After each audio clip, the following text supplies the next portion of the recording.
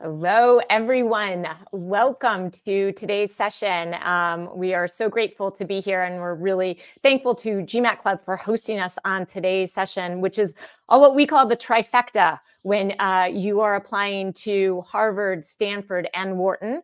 Um, or maybe you're just applying to one of those or two of those, but whatever combination you're thinking about, this is definitely a presentation that is geared for you, whether you are applying uh, ahead of those round two deadlines, which are fast approaching in just a, a few weeks, or if you're actually thinking about this more long term, you might be watching this well after the fact, um, after we've been live, which is great too, because this content is valuable for you for whenever you actually apply. So, for a second, I want to go ahead and um, introduce us to you. It's been a while since we've been on the GMAT Club channel. We're excited to be back. My name is Liza Weale, and I am the founder of Gatehouse Admissions. Um, I have been an admissions coach for gosh, over 20 years now, um, and um, and really delighted to be here as part of Gatehouse. Um, I also am going to, before I tell you more about Gatehouse, I'm going to introduce you to my peer, Rachel Nelson. Um, Rachel Nelson, she did her undergrad at Harvard College and then pursued her MBA at Wharton. Um, and she is just an incredibly sought after consultant on the team because of her competence and her commitment to all of her clients. We're going to be kind of tag teaming this. It's going to be a little bit casual, a little bit informal, but I just would be remiss not to have her at my side as we go through this valuable information with all of you. So let me tell you a little bit more about Gatehouse Admissions, and then we'll jump in. So again, um, I founded Gatehouse Admissions um, just about five, four or five years ago, and it was really the whole premise around the organization was, you know, the bar to getting into Harvard and Stanford and Wharton keeps on rising, um, and I thought the the level of support that was out there in terms of admissions coaching, guidance, strategy, it needed to also kind of rise as much as the bar was in order to help all of you who are applying. So that's really our promise here at Gatehouse, um, that different, differentiated level of support. Um, a lot of our strategy is uh, is represented in the team itself. Everybody on the team has an MBA from one of these programs uh, except for me. I did my MBA at MIT Sloan, um, but now I have coached many, many, many folks to these other schools. But all the consultants on the team have MBAs from either Harvard, Stanford, or Wharton, which just um, indicates the level of sort of ambition and, and competitive nature that we all have, but as well as our empathy and our desire to support others that are embarking on a journey that we so enjoyed. So that's a little bit about Gatehouse. I will also say the reason we are here today again is because of our focus on Harvard, Stanford, and Wharton. And we're really excited that our resort results speak for themselves. Over 90% of our clients who apply to those three schools will find acceptance at one, at least one of those programs.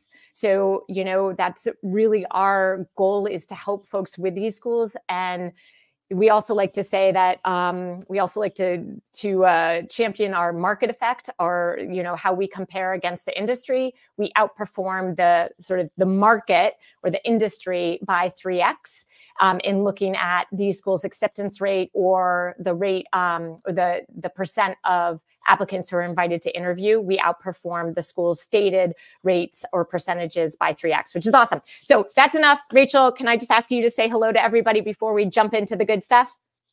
Hi, everyone. It's nice to see you. nice and you'll hear, started. Yeah. You'll hear lots more from Rachel as we go on. So we designed this um, presentation really around the 10 tips for applying to Harvard, Stanford, and Wharton.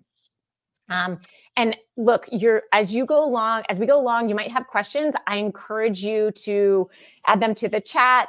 Um, you know, we'll field some of them if it's pertinent to the slide. We'll we'll field it as we go along. Otherwise, we'll tee it up. We're going to try to end this session um, within 45 minutes to tackle any additional questions. If your question is really specific to you, definitely feel free to add it in the chat. But remember it because that might be not not be one that we do um, or address as we go along. So hold on to it, and you can always put it back on the chat um, at the end if we haven't had a chance to answer it. So definitely, we want to uh, make this as interactive as possible. But so here are the the 10 tips, um, and this is a lot of information to cover but we wanted to be as holistic and comprehensive as possible. So, first and foremost, be realistic about your chances. A lot of applying to these schools, it's important to have the right mindset. Wherever you are, um, if you're thinking about these schools, um, you know, it, it, it's it can feel like the end all be all. You have to get into one of these programs. These programs are life changing. And while those things are true, it can be life changing. You know, it's important to realize how, quite frankly, hard or impossible it is to get into these programs. So I'd like to start with some stats just to help understand how hard it is to get into these programs. So I'm not going to go through all of these numbers, but I, I do want to call call out a few things. No, number one, the headline failure at all um, is more likely than success at any one of these programs. And I know I'm starting on sort of a um, a down note, but it again, it's about level setting with yourself, setting your expectations, and then you know doing whatever you can to to tip the the scales in your favor. So if you look at Harvard, over 8,000 people applied. This is the most recent year that we have stats on. Um, uh, over 1,100 were accepted, so about 14%, which means over 7,000 people were rejected. Okay. Stanford, it, not quite as many applicants. It's a smaller program. So 6,000, over 6,000 applied, only an 8.6% acceptance rate. Over 5,600 of people were rejected, of the applicants were rejected. Um, Wharton, over 400, oh, sorry, sorry, over 4,800 applicants were rejected. So there's a lot of no's in this process. And it's important to look at these numbers and realize they apply to you too. If it's a 14, 8%, or 22%, those chances are pretty low. And you need to understand that that could very well be you. You could be one of those, uh, those rejections. So earning a spot takes a lot of, quite frankly, luck.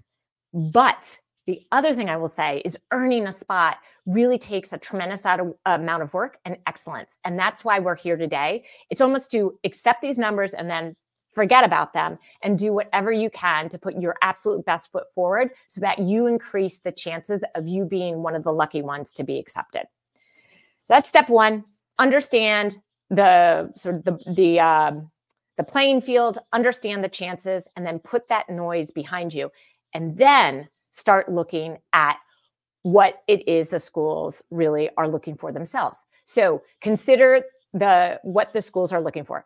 This might, might sound obvious, but I and I'm sure Rachel and I could trade stories from you know hours on how many times we get things like questions of what are the schools looking for do the schools want to hear this or you know i think the school might want to see this side of me and you know you don't want to get too caught up in trying to interpret what they're looking for. And you also want to look at the evidence that they provide. So here's what of the schools, as long as I can change my slide for you, say. And the reason we chose Harvard and Stanford here is because they've been super consistent and super forthcoming about their evaluation criteria criteria for at least the past decade, if not two de- decades. So HBS says it's looking for folks that demonstrate a habit of leadership, analytical aptitude and appetite, and engage community citizenship. Stanford has slightly different words, but kind of the same gist. Demonstrate leadership potential, intellectual vitality, and personal qualities and uh, contributions. And Wharton would say the same gist thing. So this is what they're looking for. They're looking for smart, capable, and caring leaders. And, and I would say, in our words, the additions that we'd say is like personalized leadership. And this is something we often get is like, well, gosh, I haven't managed anybody, so I'm not really a leader. Leadership can come in all shapes and sizes. The schools have no preconceived idea of what the, what kind of leader they expect to see in you. They just expect to see you as a leader, whether that is a thought leader, uh, a servant leader, a team leader, someone who leads by doing, leads by example, um, someone who takes brave um, brave steps. All of those are forms of leadership. What's important for you is to communicate what kind of leader you are through your application. They are absolutely looking for your smarts and academic excellence. Um, these schools you know they they want to see people who have always sought to excel academically um, and will be looking at your transcript transcript and your test scores as evidence of that and they want to see that you're someone who stands out. And we'll talk about this a little bit later but but sometimes people think you know oh i've got to be this person when i'm applying to stanford this person when i'm applying to harvard and this other person when i'm applying to wharton. At the end of the day these schools are looking for all the same things that we just said and they want to find superstars. So however you are a superstar you want to be communicating that unilaterally across all the schools. So dem, um, demonstrable standout performance whether that's through um, you know, top rankings or promotions or being um, just exemplary accomplishments on your resume. They want to understand what your purpose is, uh, where you're headed, and how business school fits in. Um, we will also uh, talk a little bit more about this going forward too, but they don't really care what your goals are. They don't, it doesn't matter if they're common or very unique or different. What they want to see is that you are inspired to reach those goals and you really thought deeply about how a school's program can help you get there. And then we we bucket the last thing is the intangibles. Really the the softer side of you that really captures who you are, your values, your character. So whether it's things like grit and tenacity and perseverance, um, kindness, empathy, um, creative thinking, all of those things um, it's also trying to avoid some of the things that are red flags for the school, such as ego or too much of a too much ambition or competition. So, you know, keep that in mind. You want to you sometimes feel like you have to show them how great you are, but how you do that, you want to let them come to their own judgment of that without telling them. And so we'll jump more into it. Rachel, did you want to add something? Yeah, I was going to just add. Um, so the, one of the words that I, I think we use a lot is authentic. So the more that you can be authentic to who you are, so whether that's in your goals reflecting what you actually want to do or your experience being what it actually was, um, you're much better off crafting a story around the truth than you are making up a story that the schools want to hear. Um, it tends to be a much more interesting read. You're much more passionate about it. Um, so this is kind of a tie-in both to this point and the, than the one before um, around kind of school selection. It's almost like you know, if as you approach your school list, the easiest path forward is to think about who you are and what you want to do, and then figure out the schools that appeal to you and that work for you, rather than um, you know basically crafting a story that you think fits what the schools are looking for because they're um, really looking as liza said for people who are superstars in their area and that doesn't necessarily mean a clone of somebody else. So i sometimes have a you know clients will say oh but i know so and so who got in because they looked like this or did, they did xyz that's great for them. That was their path. To a certain extent that path is taken. Now what's your path right? Who are you? And um and kind of what's your rationale for being let in Rachel, I think that's great feedback. Um, also, the the one thing I'll say is. I, I find when people try to write what they think the schools want to hear, it just falls apart. It it it it just it completely it, not only are these all these other reasons it's just usually if you're trying to predict what you think the school is looking for you're much more likely to fail than if you're just being honest with yourself so don't fall down that path of doing it it won't get you where you want it to and I would add on, we're going to talk in a little while about resume, about um, the short answers, and kind of all the other stuff. I think people get really focused on essays, um, but kind of the other meat and you know having a complete disconnect between what you want to do and what you've done um, is also confusing for the admissions committee. So you want to be able to explain why are your goals your goals what's your rationale um, you know kind of what your passions are so um, you know just the reality of most things is the more it's grounded in the truth the easier it is to substantiate with what you've done um, and for your entire story to kind of hang together and make sense. And not to mention you're more prepared for the interview too which is a big yep. part of this. So um, great awesome. Um, tip number three so this is somewhere else. And a lot of these tips, I would say, are all just generated from working with so many clients and seeing the places where they've tripped up. But before what we see is often people are like, oh, I've already started this uh, this essay. I'm trying a few different things. I'd really like your feedback. And they'll jump right into trying to write before taking stock of themselves. And so what we would always say is like, focus inward. It's one of the few times to say, no, look inward. Think about yourself first before worrying about those essays, but it will serve you well. And what do I mean by this? And the other thing I'm also going to say um, is if, um, as you guys are going through this, we did try to put a lot of valuable tips in here. So if you're finding this valuable, definitely like it. Um, share this with your friends. That sort of feedback for us is really valuable because then we know what sort of content to think about creating in the future. So please let us know and share in the comments and um, and like the video too as we go on. Go on. So what do I mean by this sort of uh, reflecting inward? And you know, the way to think about this is to go wide and to go deep. And when we talk about going wide, you want to spend some time um, thinking about your journey, how you got from where you started to where you are today. And, and thinking about the pivotal moments in your upbringing in college and your career that have really shaped your choices, your hopes, your values, who you are. Um, it is thinking about that timeline and, and, and the reason we stress this is you don't want to forget about your upbringing. And those moments that have shaped you um, you know a lot of that stuff started very early on but it's all valuable to reflect on when you're starting to think about putting together your applications for business school. So one way to think about it is to think about that journey that you've taken that has brought you to where you are today. But that's not enough the next step is to really think about, in tandem with that, to think about the different hats that you've worn or the different identities that you've played, the the different you know buckets of who you've been. Um, you you can start by thinking about who you've been in college, who you are professionally, who you are in the community.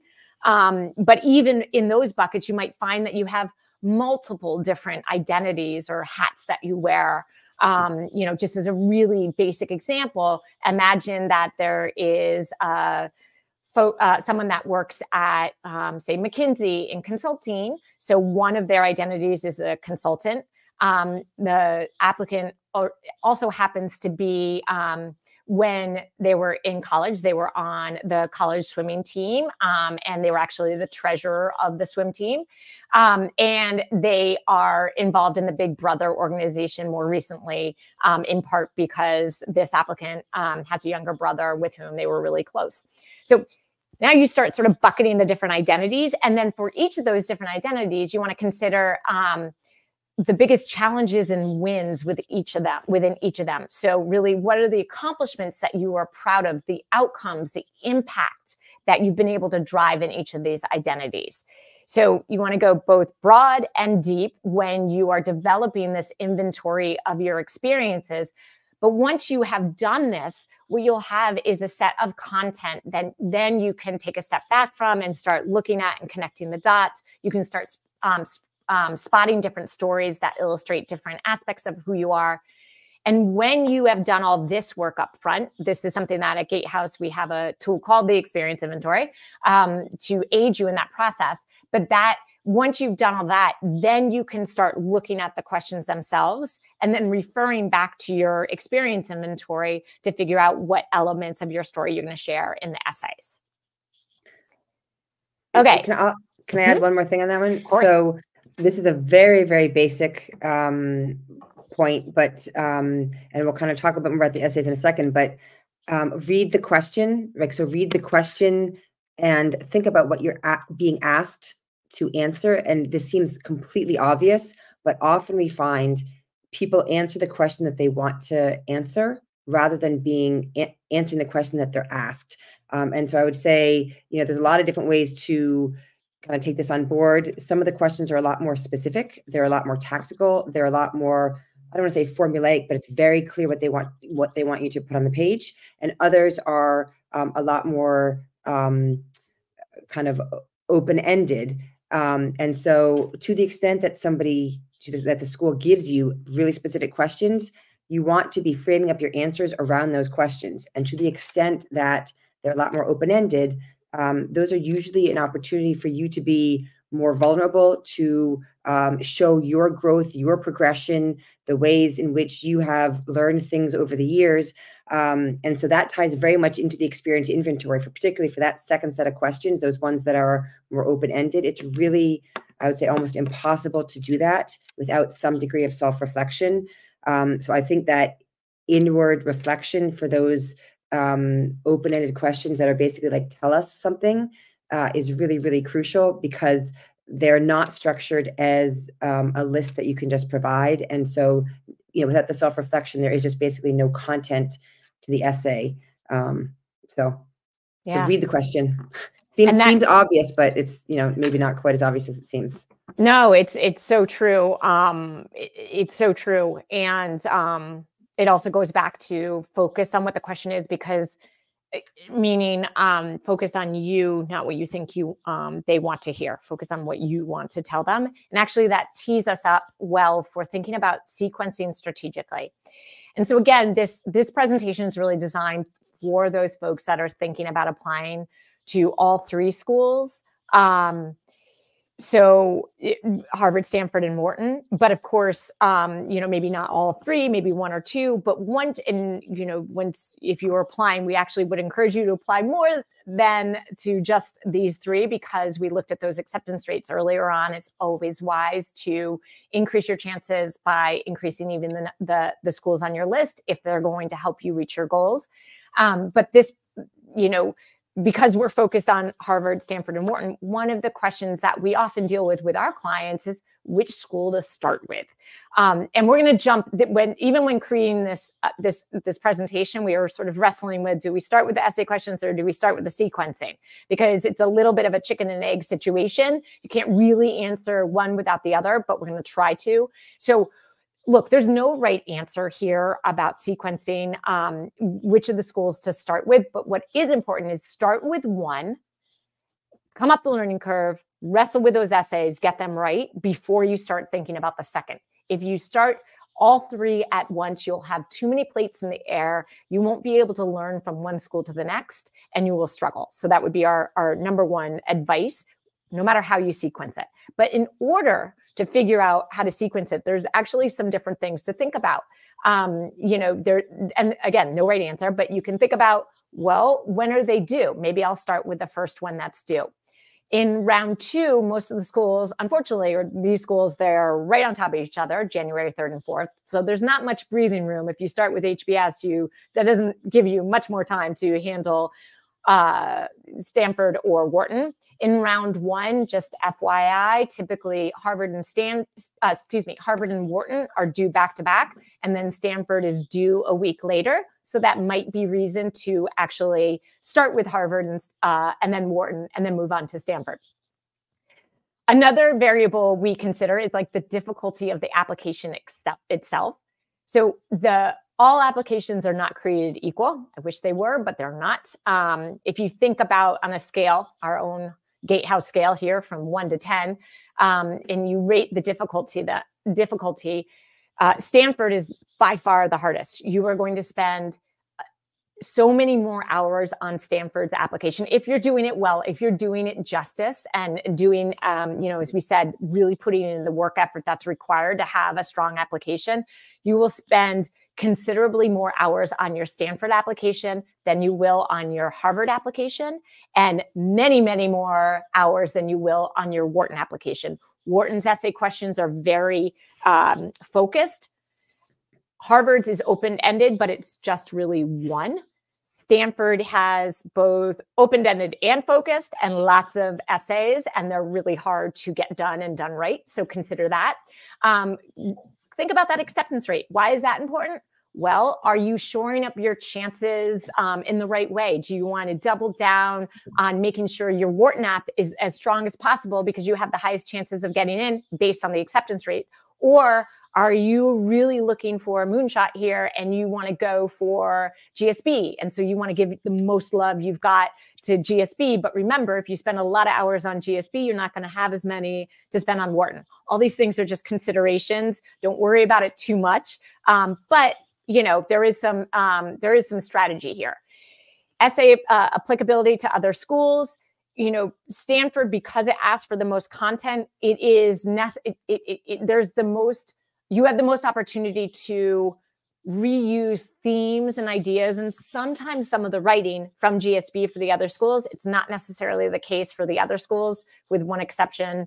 Um, it, it can be, but not necessarily. So again, you know, could be reason to start with Stanford because you'll get through all that content and then can use some of it um, strategically. And again, it depends on your preference. Which one do you want to, st- um, to start with as well? So um, just some ideas to illustrate this because this is the kind of thing that we actually spend a lot of our time uh, with our clients on trying to figure out which to start with. You know, some folks um, like to uh, start with, and this is generally for our clients that have a lot of time, start them on Stanford. It's the hardest application, you know, like get the hardest part out of the way. I often equate this from eating, I don't know who, Lucky Charms, but like saving all your marshmallows to the end as you finish your cereal. That was something I always did. I would eat the stuff I didn't like first. So I had by the end the easy stuff. It's the same with starting with Stanford. It's really tough, but by the time you get to HBS and Wharton, it's going to feel so much easier. Um, and you can leverage a lot of the content. Um, but it's also really my it's just kind of overwhelming often to start with Stanford. So often if you are only have a little time, might be best to start with actually Wharton where again those questions are more contained. So you get um, early wins. You have this feeling of like you know momentum and um, productivity like output.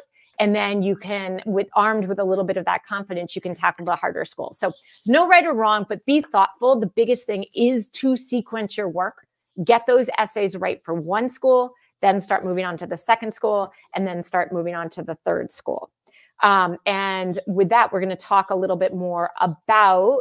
Um, uh, we're going to talk about each of the essay questions, and I'm keeping an eye on the questions. Um, but I think we're going to ta- we'll tackle those towards the end. Please keep them coming, and if it is something that's applicable to the slide, we'll also tackle it um, as we go along. So with that, Rachel, you want to talk about perfecting school number one? Yeah, absolutely. So I'm going to build on what Liza said. I mean, the key here is um, a lot of the content or the ideas can be used from one school to the next. Um, and so the more that you can be working on one, getting it perfect. I mean, I, I like to use sort of a, a, parking lot analogy. I like to have a client start with the first school, uh, take it to, let's say, 90, 95%, park the essays, pick up with a second school. And obviously, depending on how much time you have, you may not be able to take it to 95%. Maybe it's to 70 and you're picking up the next school and working on them at the same time. But the idea of being able to put something away and then come back to it uh, with a fresh set of eyes, I think is really, really useful. Um, but this comment applies, I would say, both for the essays, which we're going to talk about, but the exact same comment applies for your short answer questions, which we'll cover later. Um, obviously, the resume, you'll iterate through the process, but with the short answers, same approach. Pick one school. Which school are you applying to first? I generally advise clients to pick a date before the deadline and kind of, you know, kind of pick target application dates for each of the schools, figure out which one is first, and then get that entire application ready to go. So that means, um, you know, work on that online application first, those short answers, and then um, move on to the next one. So the idea here is that you can take what you've learned with one school and then apply it to the next. So there's no point in reinventing the wheel over and over again. Um, and yeah, and that's kind of the, the key here. So um, we've already covered this, but I'm going to repeat it. Answer the question that you are asked. Um, and so back to this, um, you know, kind of idea of understanding what the school is looking at in this case, Harvard, they're really focused on an open-ended question that allows you to tell them what uh, what you want them to know about you. And obviously, they're also covering on career goals. Um, but this is a this is as Liza said, um, depending on the path you choose, can be a good starting point because it does dip your toe into the idea of um, a school with an open-ended essay, much like Stanford's um, but the overall application is not quite as overwhelming as, as Stanford's is. Uh, then we've got GSB. So um, Stanford has a lot of questions. There's an, a question A, which is very similar to Harvard's um, in terms of the fact that it's open-ended, although sometimes um, applicants will have very similar essays uh, in terms of the same thesis, and oftentimes they will not. So that's not necessarily the same case. Um, but B, this why Stanford is very similar to Wharton's question, which we'll cover in a minute. Um, and then there are short impact essays. So um, when Liza said that there was a lot of meat to Stanford, that's what she meant. Effectively, you're answering two or one longer essay and then um, five shorter essays. Um, and so there's just a lot of materials um, that you need to produce for purposes of this um, for the school. And then finally, we've got Wharton, which is a little bit more straightforward. It's two really specific questions. You know when you've hit them. Um, and for Wharton, um, question A, and to some extent, question or question one and question two, to some extent, um, cover uh, GSB's question two about kind of why Stanford. So the idea here is be strategic beyond just the essays, thinking about which school makes sense to start with, but then um, you can also think about how the essays allow you to use content from one school to the next.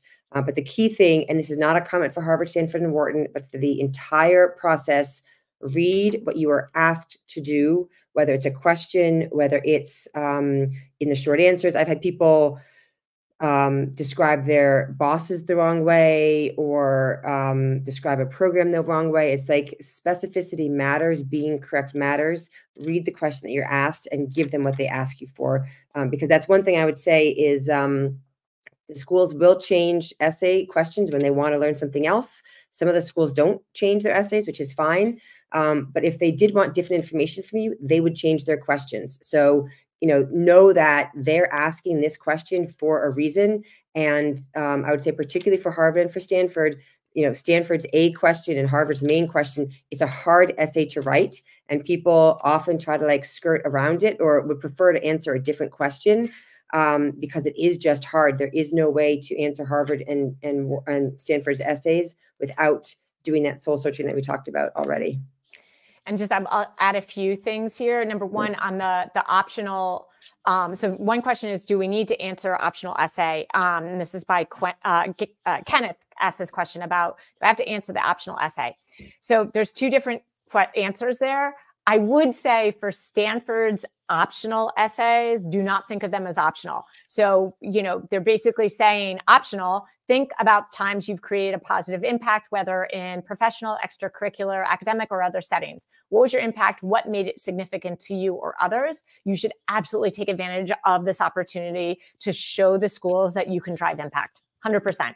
And if you can't come up with examples, keep thinking because I can assure you the peers who are competing for spots will take these opportunities to tell the school something more or tell, tell Stanford something more that they've accomplished or some impact that they have um, that they have driven. So you should absolutely um, respond to it. And I would absolutely I would actually say that for the second one, um, elaborate on how your background or life experiences have helped shape um, your recent actions or choices. I think this is like we're all a product of our upbringing and who we, you know, how we grew up. What you know that, that those are influences and presumably they influence how we act today so i always see this as a window for the schools to get to know someone better um, I, I, I see these optional questions as a boon to the applicant to share more about them the sort of is there anything else we need to know about your application? Those optional questions, that's going to depend completely on you, whether or not there is something you need to clarify or a red flag to discuss. But these optional essays would absolutely encourage you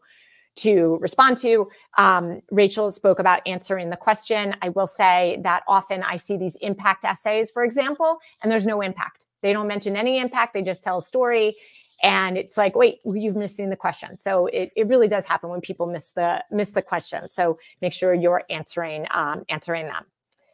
And so to, to add on to this optional essay question so exactly as liza said the stanford ones really are not optional. Um, and i would say think about it as you want to take every opportunity that you can to tell the schools about yourself. That's the biggest challenge is fitting in all the great things about you into these small little crevices that you have um, so I would say take every opportunity that you can to give them what they ask for. Um, but in terms of the optional essay, so there's a question at the end that says, you know, kind of please let us know if there's something else um, that we need to know, and they're usually pretty specific. They'll say something like GMAT score, GPA, um, you know, a, a, break in your work experience. Uh, so read what they've said. That is not an opportunity for you to write another essay. That, you know, and I would say the vast majority of clients of you know of applicants leave that blank. It's perfectly fine if you put something in there, but that is addressing a specific issue that you want to make the admissions committee that you want to explain for the admissions committee. So um, just be very careful to read again, read what you're being asked to do. Yeah, because I'll tell you the it it is so this um, application process is very much a test of um, strategic communication and your judgment. So you know, just as Rachel said, sometimes people put completely like random essays into that optional essay bucket. Um, Wharton gives a fair amount of space. So people are like, oh, I've got room for some random essay that they're not asking for. This is awesome. I can tell them more about me. So think about that poor reader who's assigned like, I don't know, tens, tens and ten, dozens and dozens of applications to get through. They've got themselves on a rhythm. They're reading essay one and two, one and two, one and two, and then they get to, whoa, what's this extra 500 word essay that I have to make sense of?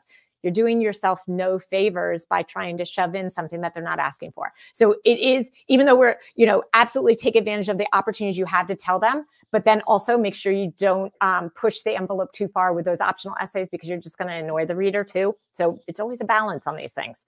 Um, and guys, definitely, please, we definitely are looking for, for, feedback. So if you're enjoying this, give it us give us a thumbs up. Um, we really want to create more content and more videos for you, and that will be um, your feedback to us will be valuable. Back to you, Rachel. All right. So number six, leverage what you can between the schools, but don't get lazy. So to the mm-hmm. extent that you can reuse ideas, reuse content, as Liza said. So um, I think you know we kind of covered between Harvard and Stanford. Sometimes there's reusable content between Wharton and Stanford's B. Um, so great to reuse content if and when you can, but don't get lazy. And that means that for each of these schools, you need to research, research, research. Um, and I would say this is like a number one, maybe it's number two misconception. People are like, yes, um, Stanford's good at entrepreneurship, Harvard's good at leadership, Wharton is a quantitative school. And they're like, that's going to be the basis of my research. No, no, no. You need to be much, much, much more specific. Um, and Liza, you know, we've got here kind of identifying courses, identifying clubs, identifying experiences. But I would take it one step forward further, which is what's the experience you're going to participate in and how does it relate to you, right? So again, Wharton's very explicit in their second question. Tell us what you're going to participate in, specifically how you're going to contribute and how it ties to something that you've done. But to the extent that in any of these essays, and this is true for all the schools that you're applying to, you want to be really specific about what you're going to do and why. And so that means when you name a club, say what role you would take. Would you take a leadership role? It's fine if you wouldn't, but if you would, say what that role would be. Are you going to help organize the conference? Would you would you arrange a panel? Who would you invite to speak? What would the panel be called? Would you have a professor moderate it? So the more that you can be specific about the things that you want to do, um, professors who you're interested in taking a class from, what is what kind of research is that professor known for? Um, all these things do two things. One is they show the school that you are researching them, that you're interested enough to um, to do that research, but you also show fit. And so to go back to the very beginning, number one, as you think about your list strategically and kind of optimize your chances for getting in, the easiest way to get into any business school is for what you want to do to fit with what the school offers. And this is your opportunity to show how um, how what you bring fits with what the school wants and it needs. And that can be done in many ways. It can be both how you contribute to the school while you're on campus, and it can also be through your goals, which is sort of the way in which your, um, you know, to some extent that your interaction with the school continues on. Um, so really be thinking about, um, we, you know, we talk about sometimes as like the give and the take. The take is what are the things that you need from the school to achieve your goals? Um, and then the second piece is what are you going to give?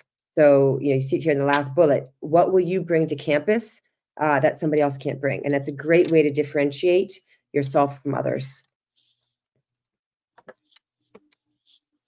All right, managing your recommenders. So, um, yeah, this is one where kind of same as we started with before, read the questions, make sure that your uh, recommenders know what the questions are. So the key to question one is performance versus peers. So that is um, not just a matter of saying all the ways in which you're good. Um, it's a matter of them being very specific as to what you do, how, as Liza said before about a different topic, the impact of what you do is crucial. And then understanding how what you have done is different than or more than what would be expected from somebody at your level. So that point of, of, of relativity is really, really crucial uh, because that's what the school has asked for. So second question um, that they ask most of the schools is around constructive weakness. And I think, you know, Simran asked a question about how do you address one's weaknesses. This is a question or kind of, a, you know, one where um, oftentimes I feel like recommenders might try to dance around giving a weakness because they think it somehow benefits um, the candidate. Or I sometimes have applicants who are like, ah, I don't want to remind my recommenders of any any of my weaknesses. It's because that's going to paint me in a bad light. And it's like, no, no, no. The school has given you an opportunity to say the things that you're great at, and now you have to give them a weakness. And that doesn't show failure, right? What you want to demonstrate with the weakness question is what you've learned from it. So, what's the situation? You know, and then how did you take that and how did you grow from it? And so that comment that I'm making is true both for this question, true for the letters of recommendation, but it's true of any question. Sometimes you might get it in a different application. You might get it in um, in an interview, right? The failure question is a really big one. Failure in and of itself is not a problem. Having a company fail that fails, having a project that fails. In fact, um, I think most people would say that you learn a lot more from failure than you do from success. So the key thing for this is really about your learning and how you've grown. So kind of last that's my last comment on kind of the, the questions. I know we're running out of time here. Um, but I would say think about who your recommenders are, pick them carefully. You don't be so focused on title. You really want people who know you well. Most of the schools will very specifically ask you to give them a direct supervisor. So be sure that you have one of your two recommendations that is a direct supervisor and can tick that box. And then be thinking about who works well with that application. And what I mean is, we want the applications to work together and to show us a good perspective of who you are without being duplicative. So, um, you know, in terms of managing your recommenders, make sure you're very, very clear about what the deadlines are. Make sure they know how many schools you're applying to. You're, this, it's a big ask to do a recommendation well. And so you want to be as helpful for them as you possibly can. And that means give them the dates up front, let them know, you know, everything that they're being asked to do. Um, and then it may be helpful for you to give them specific examples. So for question one and question two, remind them. Maybe you give them your resume, maybe you give them a list of places where you've had really significant impact and remind them what that impact was. So make it easy for them. Um, and then just help help them and make sure that they're moving forward. So I would say checking in along the way to make sure that they're managing to the deadline is really, really crucial because for many, not necessarily all, but for many of the schools, your application is not complete unless your unless your recommendation is in.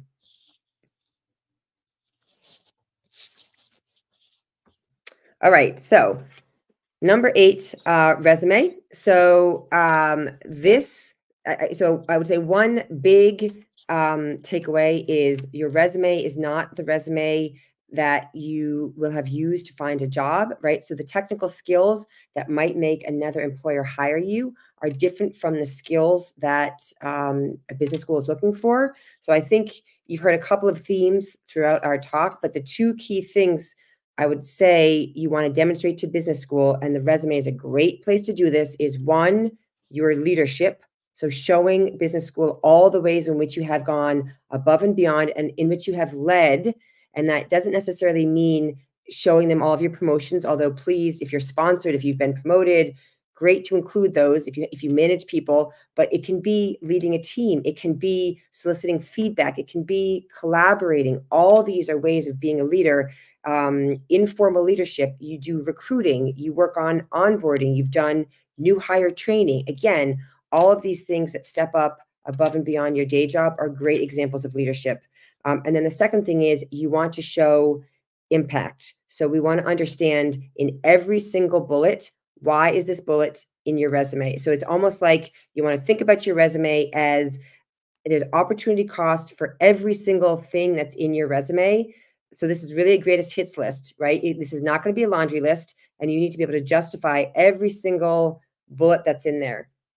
So you want to make sure you are very specific. There's a very clear impact.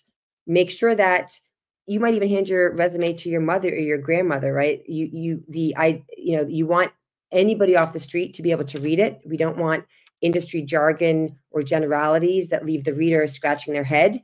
Um, and so, you know, we want your resume to be very specific to you, to be, you know, not necessarily describing what a team accomplished, but kind of what was your um, contribution to that team. So, you know, how did you specifically make that impact happen? Kind of what did you do?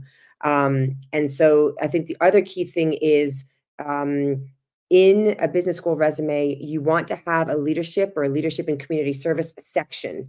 Um, and that you want to call out specifically from the rest of your of your resume uh, you know from the other sections and you want to give it space and that may mean that you have fewer bullets under your work experience and that's fine because um, whereas when you apply for a job your previous work experience is really, really crucial. In business school, seeing that leadership and that impact is crucial, both at work, but also outside of work. So definitely make sure your resume has a leadership section. And I would just say, rule of thumb, Liza can chime in. You want it to be a third of your resume, quarter of your resume, like no less than that. You want it to be a substantive section well, since you said I could chime in, I will chime in on that. Um, I would say this that if you're like, oh gosh, I don't have anything to put in my leadership section, you need to start doing you need to start building you know uh, pursuing more activities finding ways to take on leadership and even dare i say it like evaluate whether or not you're ready to apply to business school. So uh, you know we love resumes at gatehouse because it's always so amazing to see how someone who's really proud of their resume got them to where they are today is just transformed through the process. We do so many iterations on their resume and, and really help clients um, present themselves in a very different way that they didn't even know they were capable of before they started. But one area, this uh, this focus on leadership, it can be really daunting and intimidating. Sometimes it's it requires thinking creative, um, creatively about your experiences, but other times it's actually an indication that you need to step up your involvement, whether it's at work or um, in the community, so that you can show more leadership to the schools. And we just got a question asking, do you prefer one page resume or can it be more than one page? The rule of thumb is one page unless you have more than 10 years of experience. If you have more than 10 years of professional working experience, then you can go onto that second page. But again, remember strategic communication right no the the admissions team even if they say two pages is fine they don't really want to read two pages get it down to one page you're doing yourself a favor unless you have such a you know you have 10 years of experience or more where that second page is really warranted and two things I want to add. So I just want to reiterate one thing Liza said. When she says 10 years or more, she doesn't mean five years. Literally, like if you have five or six years, people are always like, oh, I, I can't fit it to one page. It's like, I have seen people with eight years of experience. I've actually seen people with 10 and 12 years of experience. Everybody can fit their resume to one page, right? Yep. Because the reality is this is the greatest hits list. So we don't need every single bullet that you've ever done. So I would push almost everybody to be at one page um, so the point I think Liza made this earlier, this comment applies to you. Everybody here who's listening, if you think this applies to the person next to you and you have this special experience that needs to be on two pages, that's not true. Your resume should be one page, just like everybody's everybody else's. The one other thing I want to say is I think Liza was right on that if you don't have any leadership experiences, you may want to go um, think about whether you want to postpone um, to a future round and spend some time developing them. But I would also say, oftentimes people have hidden leadership, and I kind of alluded to a couple of them or several of them. So, things that you might do in the office that you don't think of as being leadership, but maybe you're on the office green team, or you participate in the office uh, soccer team, or you run the paddle team, or you've organized a um, a group that volunteers or mentoring, whatever it might be, all of these things are leadership activities. And the same thing is true in university. Um, maybe you worked while you were in college. Maybe you did an internship. Maybe you, um, you know, did tutoring, right? You tutored people for money. All of these things are leadership activities. Um, it doesn't have to just be that you ran some big organization. So I often find that for a lot of people, as they think expansively and really kind of like dig around in their experiences, and actually, this is another plug for the experience inventory um, or something like it, because it is a good way to kind of surface activities that you've been involved in. But I would just say before you despair, um, actually just thinking through the way that you've spent your time outside of your day job or outside of class in university is a really good way to um, think about whether there's other kind of hidden leadership activities. All right. All right. Okay. I was going to um, say, oh, go ahead. Um, actually, I'll I'll jump into this one. Sure. Don't forget the small stuff. I'm only doing this really because I'm keeping an eye on the time. I will also say guys like as as we said at the beginning like we're covering a ton here every single one of these could be its own hour session and in fact we have a number of these hour sessions actually um, we did a series of workshops um, with GMAT Club early, probably a few years ago, that dives into recommenders, resume, the small stuff, the short answers. So, if any of these, as you start working on these, you're going to have more questions and things like that, definitely check out our entire workshop series on these topics. But I will um, say on this, on point number nine, don't forget the small stuff. And the reason you shouldn't forget the small stuff is I guarantee others will. So this becomes a low hanging fruit for you to really make sure that you're taking advantage of opportunities to share the school with the school as much um, about you as possible. What I mean, what we mean here is really the short answers. The short answers, the online application it's basically the questions that you have to fill in when you log in and um, and set up your um, your account um, yes, of course, some of them are like your name and that you don't have to be too strategic about, but there's things like describe your job, describe um, your uh, you know key accomplishments in that role, the biggest challenge in that role, why you left that role, all of those things. Um, it's you want to spend the time. Don't shortchange. Don't just cut and paste. Um, one of the folks on our team, Brooke, she was um, on HBS's admissions team for over a decade. And what she always says is she loves reading the online applications because she get, actually gets to learn about companies, the way they're organized, different jobs and different roles. So if you are describing your company, let's say you work at um, let's say you work at Strategy& in management consulting and you write management consulting as a description. They know that. What can you tell specifically a little bit about how Strategy& is different from other competitors in the space or your office in particular, or even the areas that you focus on?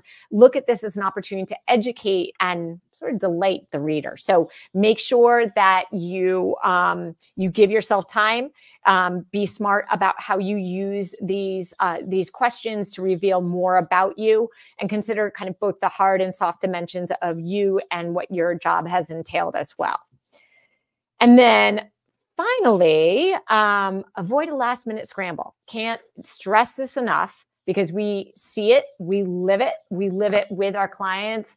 Um, way too often. We're always saying you're going to get busy, you're going to get busy. Lots of them listen, but then there's always some folks that scramble. So to the extent that you can just really um, assume the work is going to be there, there's a lot of it, and to get started um, quickly and to make sure that you're giving yourself time on the back end to get this done and in and and sort of submitted with confidence and grace. So iteration and patience. They're super vital in this process. Um, the writing's hard. You have to show, don't tell. You have to reveal who you, you are as a person, but you can't tell them who you are as a person. You can't just list your accomplishments, but you still have to share some of your accomplishments. You have to focus on the why and the how as, as much as the what, meaning what was your motivation? What was your intention? Um, and you need to bring, share enough context so the reader can see your world, but not too much context so that we get lost. Um, you know, you have to be yourself as much as possible vulnerability is compelling, but so is confidence and confidence. So it's ba- you have to be balanced. The writing is hard. you need to iterate, you need to give yourself some breaks and be ready for your essays to evolve. Um, early intervention and redirection is much more valuable than late intervention. So I, you know, the headline, seek outside expertise if you are early, not late. It, it, you know, it, when we are looking at something at the 11th hour, uh, there's only so much we can help you and our clients change it or any outside expert, right? If you're asking them at the last minute, there's only so much you can do. If, if the time for a major redirect, the time for substantial improvement, that ship has sailed. So if you are thinking about, wow, are these really where they need to be? You want to start having that those conversations much earlier in the process. And then by the time you're doing that, you know, 10th iteration of an essay, it's you're not changing much. It's really you're just fine tuning. Um, and then choose your experts wisely. I wrote an article on this once, like of how much time um, or how many times you get uh, you ask somebody on the outside to read your essay they don't like it they tell you all this feedback because of course when you ask somebody for feedback they will give it to you because they want to feel like they're doing right by you so even if they love something they're going to feel the need to try to improve it but you know is that person does that person have experience in coaching others on admissions? Do they you know are they projecting? That can be something to keep an eye out. So just choose your experts wisely. Don't share your stuff with too many people. You're just going to have too much noise to then decipher and make sense of. So liza there's a couple of questions in here. I know we're running out of time but there's a couple questions around um, a career break or mm-hmm. explaining a layoff. And so I want to make sure that we cover that because it seems like it's a pertinent point. Yeah. Um, so let me start with the what we already said.